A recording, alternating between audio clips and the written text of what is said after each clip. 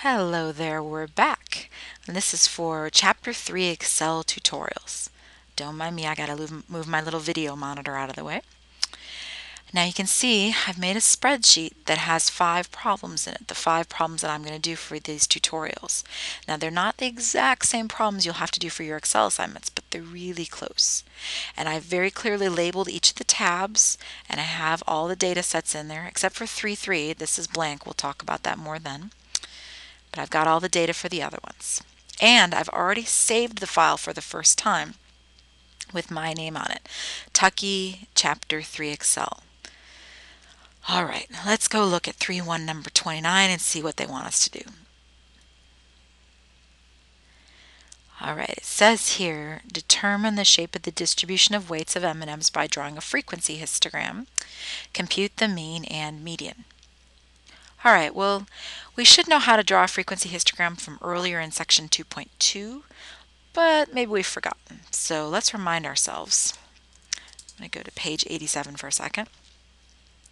Now right here it has constructing a frequency histogram and it says something about on this page, sorry, page 86, it says at the very bottom, the class lower class limit of the first class, you should choose the smallest observation in your data set or a convenient number slightly lower than that.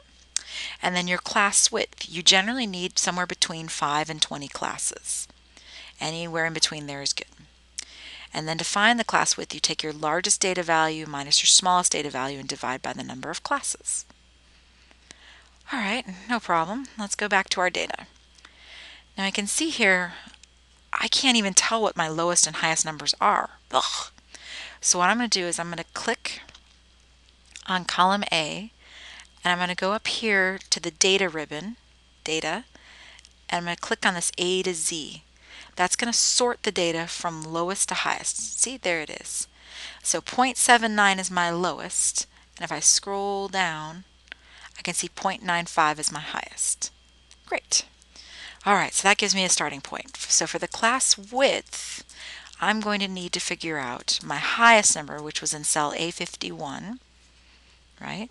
Don't believe me, there it is, A51, minus my lowest number, which is in cell A2, and I'm going to add, so take the difference between the two. I'm going to divide it by, well, here you can pick anywhere between 5 and 20. It's sort of whatever works for you. Let's say I go with 10 just for the heck of it. And I can see that's 0.016. Mm.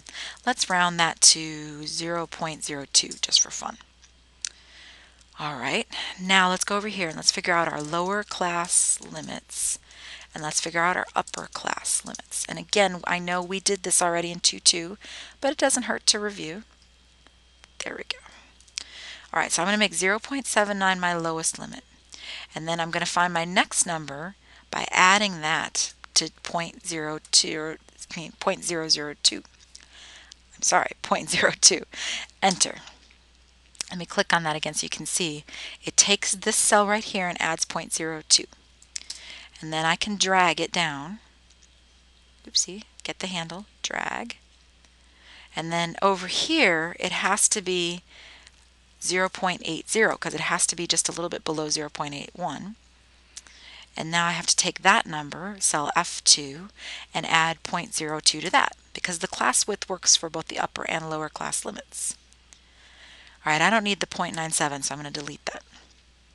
Now I have to go through and count my frequencies for each of these. All right, now that I showed you how to do before, but let me remind you, there's only one in here, but let's look at the next one. 0.81 to 0.82, there's three of them, and you can see it in the top left corner. It says 3R. All right, I'm going to pause it, and I'm going to fill in all my frequencies. All right, so we're back. I've typed in all my frequencies and I did myself one better. I actually typed in all my classes too. So 0.79 to 0.8 and so on. Go to Insert, click Column, pick the top left one, and boom, you have a frequency histogram. And you can go change the labels. I'll pause it while I do that.